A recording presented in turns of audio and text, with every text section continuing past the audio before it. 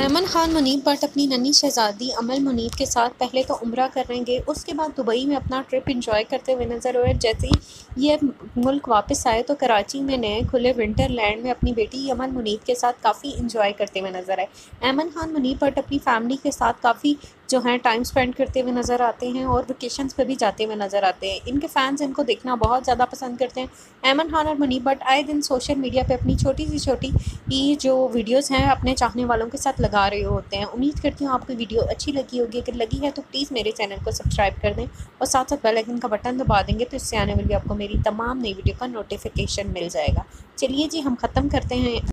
करते हैं यहाँ पर वीडियो। अपना बहुत सारा ख्याल रखिएगा। मुझे दीजिए इजाज़त। मिलते हैं अगली वीडियो में। अगली वीडियो तक के लिए अल्लाह हाफिज़।